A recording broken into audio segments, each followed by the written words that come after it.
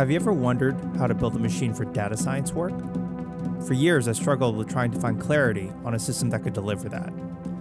Too often, they confuse developer systems and training only systems with data science, and I wanted to settle the answer myself on what the system could be.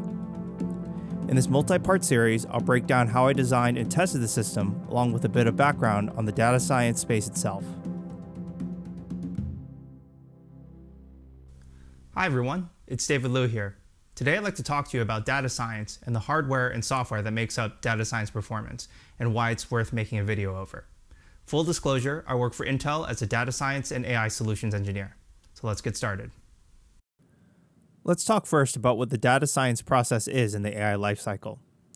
In the AI lifecycle, you do data science and exploration, then model development and evaluation, and then finally model deployment. It can be subdivided into more steps, but we're trying to keep it simple here.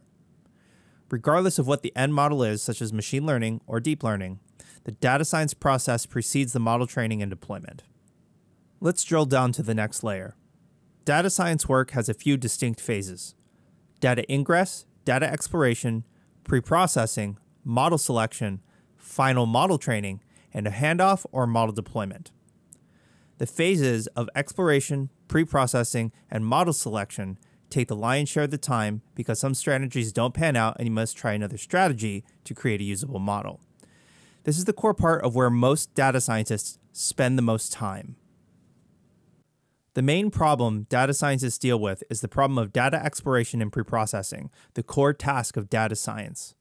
Because of the explorative work that goes on, fitting it into in memory data frames is preferred. Sometimes you deal with improperly formatted data, missing data, or data that needs to be transformed. These data munging tasks are the core of frameworks such as pandas. Ask any data scientist, and this is the bane of their everyday work. Basically, if the dataset fits into memory, it grants almost all required algorithms and data frame manipulation methods necessary and can handle intermediate results from data frame operations. While some great distributed frameworks have helped solve specific out of memory problems, they still have their own set of gaps to handle. For Dask, this solution does not have full Pandas API support, which means specific data frame operations aren't supported in addition to Dask being less performant than an in memory equivalent. For general classical machine learning and stats, scikit-learn lacks distributed implementations, but some extensions can grant partial support of distributed to some algorithms. At the end of the day, you're essentially fighting non uniform memory access, or NUMA, either single node CPU socket NUMA, or what we call network NUMA, wherein the latency and overhead of multi node systems comes into play. Many of the data frame and machine learning algorithms used by data scientists don't scale that well at all. So reducing the problem to a single node in memory computation removes most of the barriers. Now you may wonder why go through all this effort to have as much of the algorithms and capabilities as possible. Well, let me tell you something I've seen from both a practitioner and legal perspective. It's called bias by model selection. Let's say, for example, that you chose to use a deep learning algorithm because their algorithms are commonly offered in a distributed implementation, and you can skip the in memory problem. By doing so, you are also cutting out an entire section of non distributed algorithms or classical machine learning algorithms that have more explainability. Then let's say use this model to approve or decline a loan. By doing so, you've introduced bias by model selection because you have chosen to cut out the entire data science process with the full dataset and full set of algorithms. If you're sued in court, not showing due diligence on the model selection and development process can potentially make you lose the case. Developing and using a computer system that can provide me the due diligence evidence if audited on my model development and selection was pivotal as I've had to stand behind my data science work and I have seen others lose court cases from choosing algorithms with distributed implementations or by downsampling the problem to fit into small memory systems or hardware. As of April 2021, there's also new draft proposals on the European Union regulation of high risk AI systems, which might eventually enforce this requirement on showing one's model work. As such, I think it is a sign of things to come as AI has started to affect our everyday lives more and more. Link in the description if you want to know more about this new draft regulation. Let's get to the exciting part of this video. the design of the system. Looking through various technologies on the market, I stumbled upon an interesting product called Intel Optane Persistent Memory.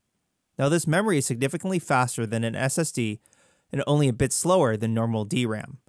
However, the added advantage is it can run in what is called a memory mode, where it becomes part of the addressable memory pool.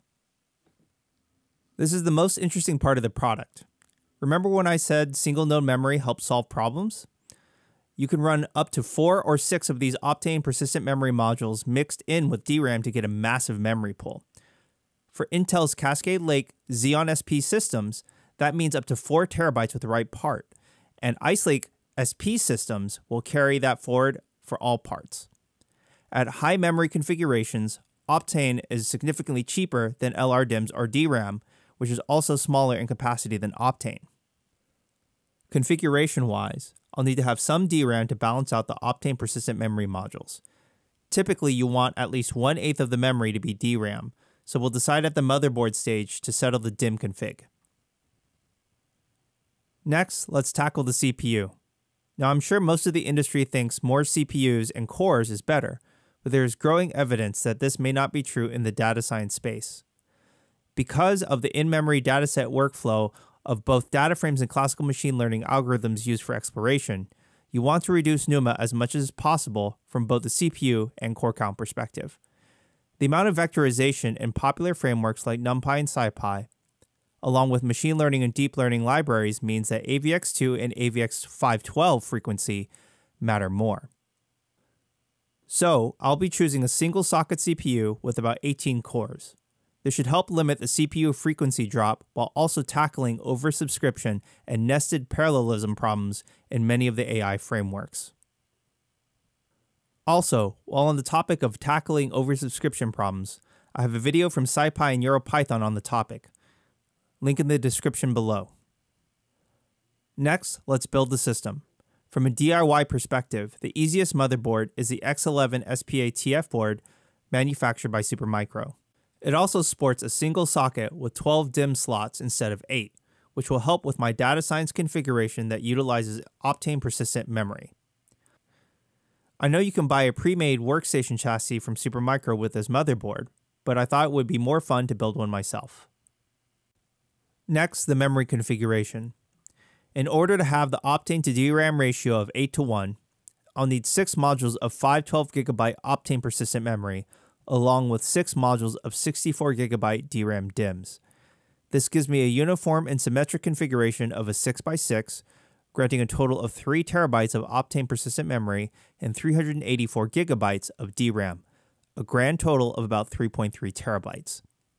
At the OS level, it should report about 3 terabytes with this configuration.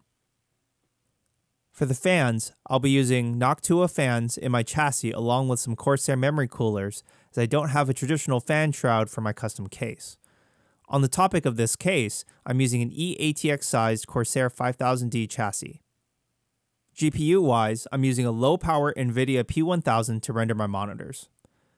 The GPU in this case is only for rendering the screen and not for AI purposes, as the data science process rarely requires a GPU. If one needs to test a deployment, one can always add cards in to temporarily test. I have the OS installed on an NVMe drive and extra SSD for some local file space. Assembling the chassis was a bit more involved as I had to add extra offset holes to the Corsair case for the unique Supermicro board, but otherwise straightforward after mounting the CPU to the cooler and then followed by the motherboard, then the power supply connections, memory installation, and then OS installation. I've installed Windows 10 for workstations and Windows Subsystem for Linux, or WSL2, as it is fast becoming a great alternative to a pure Ubuntu install. Here's a look at the final system. Cool and quiet with the Noctua fans and a system that sits under my desk where I can easily mount dataset disks into system memory. Let's power it up and get a preview of how the WSL2 experience is. WSL2 can address a total of about 2.5 terabytes of the total 3 terabytes of system memory, which is fantastic. I also have all my Windows based tools and enterprise applications. A data science system that has the best algorithm support along with the best in memory capacity to handle many of today's large data sets. In the next part of the series, we'll test the system and explore the capabilities it grants to data science workflows. Stay tuned for part two.